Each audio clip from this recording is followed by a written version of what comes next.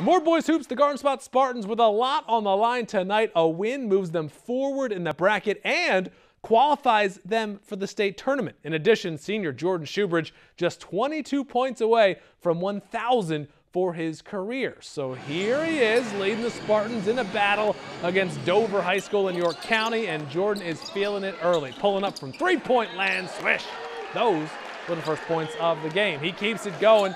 Andrew Zentner finds him in the corner, and again, bang, Spot takes the lead. Then check this out, Shewbridge off the dribble, breaking some ankles, hits again, scoring the first nine points of the game, and of course, He's not the only Spartan contributing. Javi Westmoreland from downtown. It's an 11-point lead.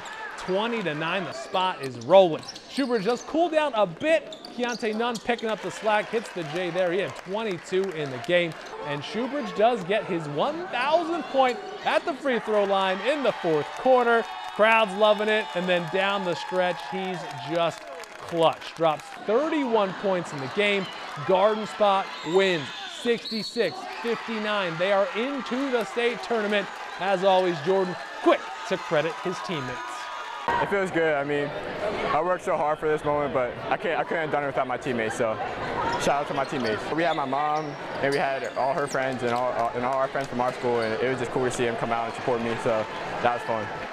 So, congratulations to Jordan on a fantastic milestone. More importantly, Spartans now moving on to the quarters to play Milton Hershey on Thursday in the Spartan Center, 7 o'clock tip off.